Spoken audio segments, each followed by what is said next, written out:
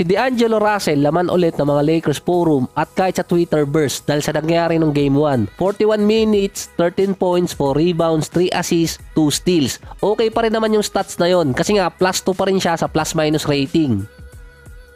Kaya naman siya sinisisi ng mga fans dahil yon sa 6 out of 20 mula sa field. 30% at 1 out of 9 sa 3-point area na 11%. Siya yung ikalawang may pinakamaraming attempts behind dito kay Anthony Davis. Excited pa naman noon si D'Angelo bago yung game 1. Nag-average kasi si D'Lo ngayong season ng 18 points, 3 rebounds, 6 assists, 45% sa field at 41% sa 3-point area. Sabi nga ni D'Angelo sa post-game interview, hindi niya matandaan kung ilang 20 attempts na ang nagawa niya ngayong season. Meron siyang labing isa. Nag-average si D'Lo doon ng 29 points, 4 rebounds at 8 assists per game. Meron pa siyang 49% sa field at 50% sa 3-point area. Ang pinaka-bad game pa doon ni D'Lo versus Celtics, ito yung walang Lebron. Nasa 25% at 50% naman mula sa 3-point area. 16 points at 14 assists siya doon. Sa Game 1 versus Nuggets, ito yung ikalabing dalawa ni D'Lo na meron 20 attempts. So hindi naging maganda yung percentage niya kaya nagalit yung mga fans. Kung isang beses lang nangyari yan, okay pa. Merong bad night na masasabi, masama yung gising, masama yung tulog, or kaya simpleng malas lang talaga. Sa dalawang games na naglaro siya versus Nuggets sa regular season, may average doon si D'Lo na 14 points, 3 rebounds, 5 assists. So below average niya yon, okay pa rin naman yung scoring. 40% sa field at 33% sa 3-point area. Below average pa rin niya. Pero si D'Angelo ngayong season hindi nagkakaroon ng bad game sa isang team sa multiple games. Tanging Denver Nuggets lang. Okay lang din kung isang season lang nagkaganon. Siguro na-check si Dilo, alam siyang bantayan or malas lang talaga.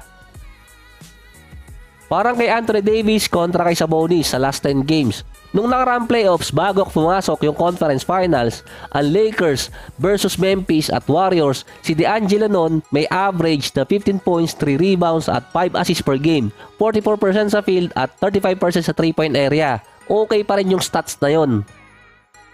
Nung nakatapat nila ang Nuggets sa first two games, bumagsak agad ang scoring ni D'Angelo. 9 points, 2 rebounds at 4 assists per game. Meron pa siyang 36% sa field at 20% sa 3-point area. Yung game 3 at game 4, binawasan na ang minuto noon ni D'Angelo. Mukhang hindi na bad game or masama ang gising ni D'Angelo. Mukhang meron ng nangungulam sa kanya kaya mula nang lumipat siya ulit dito sa Lakers, nahihirapan siya maglaro ng maganda kontra Nuggets. Dahil nung nasa Minnesota pa siya last season, nung nakatapat nila ang Denver, meron siyang 14 points at 7 assists per game, 58% sa field at 53% sa 3-point area. Nanalo pa ng dalawa doon ang Minnesota kontra Nuggets. Noong 2022, ganun din, 18 points, 4 rebounds at 5 assists per game, 46% sa field at 37% sa 3-point area. MVP level na noon si Nikola Jokic at nanalo pa rin ang Minnesota kontra Denver. So balik ulit sa game 1. Tinanong kasi si Darvin Ham bakit hindi pinaupo si Dilo at pinaglaro pa rin ng 41 minutes na alam na niyang minamalas na sa field. Ando naman si Dinwiddie at Gabe Vincent.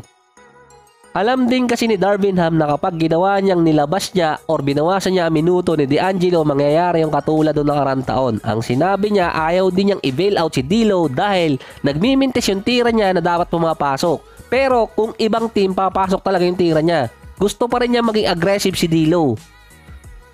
Ito lang ang problema niyan. Dahil mismong gahaling din kay D'Angelo ngayon taon na si Darvin na may pinapaborang player. Ngayon, paanong adjustment yung gagawin niya? Dahil yung player mismo ang mag adjust Ang sinabi na lang ni Anthony Davis, maging ready na lang si D'Lo sa Game 2.